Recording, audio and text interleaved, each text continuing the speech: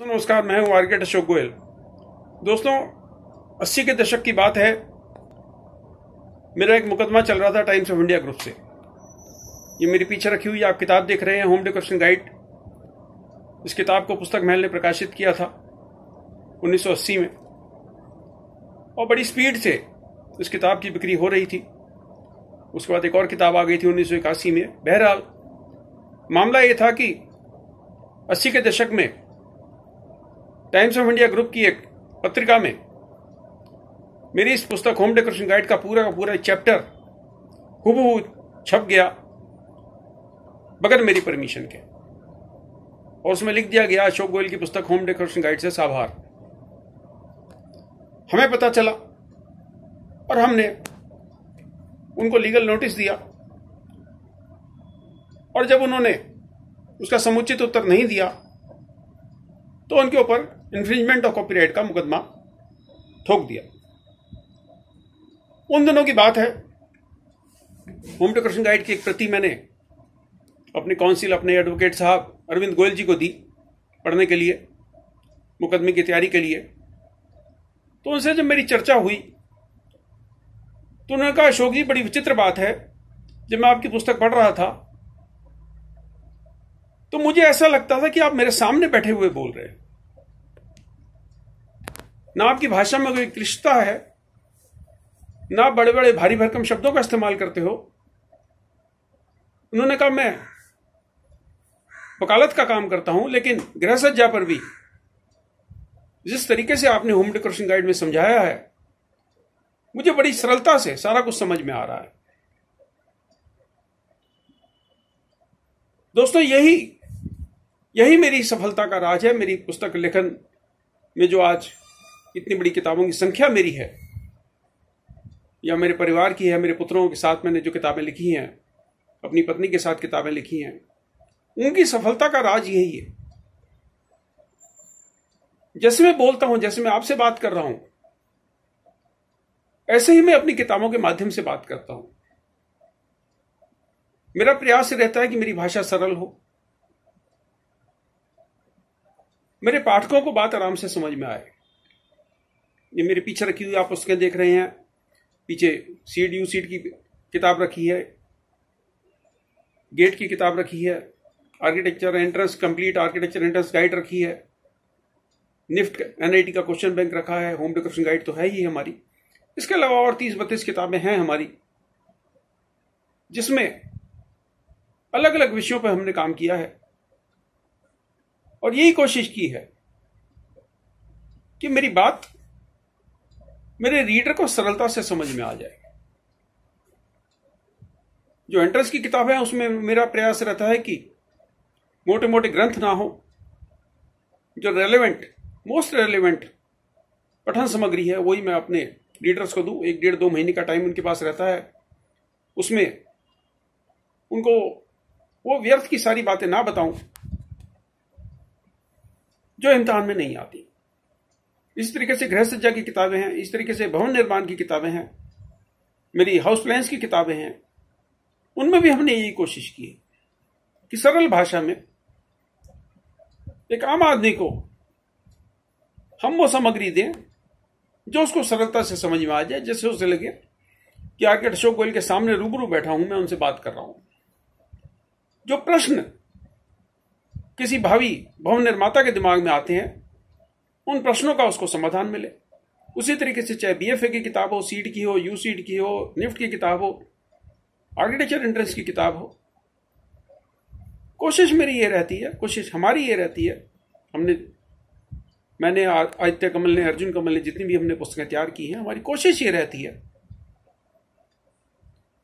कि उनमें, उन पाठकों के दिमाग में जितने प्रश्न घुमड़ रहे हैं, उमड़ रहे हैं बार बार आ रहे हैं जिनका उनको कोई हल नहीं मिल रहा, वो हम दे पाए।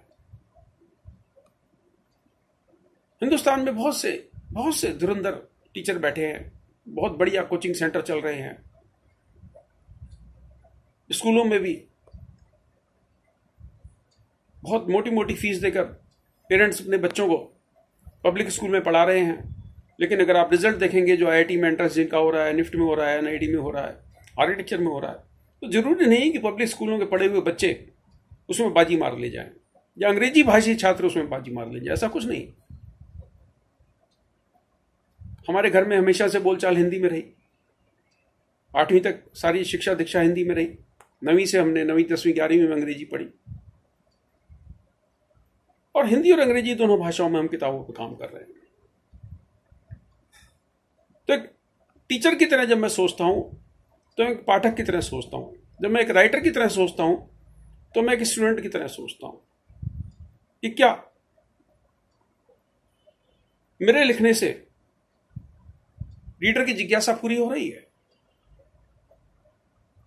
क्या ये जो मैं पन्ने भर रहा हूँ, ये जो मैं परस्पेक्टिव बनाना सिखा रहा हूँ, ये जो मैं एप्टीट्यूड के क्वेश्चन सॉल्व करना सिखा रहा हूँ। ये जो मैं मकान का नक्शा बनाकर रोड़ी सरिये में कैसे बचत की जाए, किसी को सिखा रहा हूँ।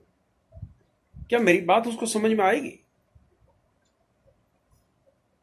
और आपको जानकर प्रसन्नता होगी कि ये बड़ी बातें, हमारी बातें मेरे जितने भी ऑथर्स हैं, हम सबका यही प्रयास है कि आम आदमी के लिए हम काम करें। बड़ी बड़ी इमारतें बनाने के लिए बड़े बड़े आर्किटेक्ट्स बैठे हैं बड़े बड़े बिल्डर बैठे हैं बड़े बड़े इंजीनियर्स काम कर रहे हैं। लेकिन जनसाधारण के लिए, जनसाधारण को आर्किटेक्ट एक्ट क्या है हम बता रहे हैं। जनसाधारण को आर्किटेक्ट की उपयोगिता क्या है हम बता रहे हैं। बहुत से अमीर पेरेंट्स हैं, संपन्न लोग हैं जो कोचिंग सेंटर में अपने बच्चों को भेज पाते हैं। लेकिन बहुत सारे ऐसे लोग भी हैं दूर दराज के इलाकों में बैठे हैं। छोटे कस्बों में है, छोटे शहरों में है, छोटे गाँव में है। क्या वो बड़े डिज़ाइनर नहीं बन सकते? क्या उनका आईआईटी में जाकर बैचलर ऑफ़ डिज़ाइन का सपना पूरा नहीं हो सकता? क्या उनका school of planning and architecture में आर्किटेक्ट बनने का सपना पूरा नहीं हो सकता? क्या वो सीपीटी अहमदाबाद या सी चंडीगढ़ में नहीं जा सकते?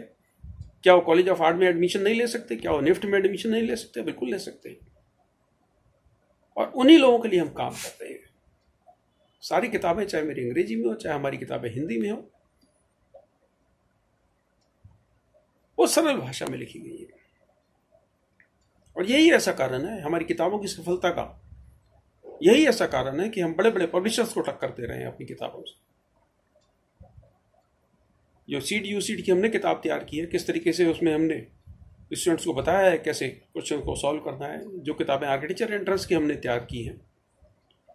जिस तरीके से हमने उनको बताया है कि कैसे पेपर तैयार किया जाता है, कैसे एप्टीट्यूड के क्वेश्चन सॉल्व किए जा सकते हैं, कैसे ड्राइंग बनाई जाती है, कैसे स्केचिंग की जाती है, कैसे शेडिंग की जाती है। किसी बड़े पब्लिशर ने आज तक ये तैयार करने की हिम्मत नहीं दिखाई, हिम्मत इसलिए नहीं दिखाई क्योंकि अधिकतर बड़े पब्लिशर की किताबें कॉपी पेस्ट पिछले सालों के, दस साल के, पाँच साल के पेपर कंपाइल करें, उनके सॉल्यूशन डालें, किताब तैयार होगी क्या ऐसी किताबें आपके नैया पार लगाएँगी? किताब ही नहीं। क्या रंग बिरंगे चित्रों वाली डिज़ाइन मैगजीन्स, रंग बिरंगे चित्र वाली फिरंगी आर्किटेक्चर की किताबें आपको आपके घर का डिज़ाइन दे पाएँगी। आपका प्लॉट तीस फुट बाई साठ फुट का है, अठारह सौ स्क्वायर फीट जगह है आपके पास। क्या रंग बिरंगे चित्रों वाली विदेशी लोगों की लिखी हुई किताबें आपके लिए काम आएँगी? किताबी नहीं। वही ऐसा कारण है कि हम पुस्तकों के क्षेत्र में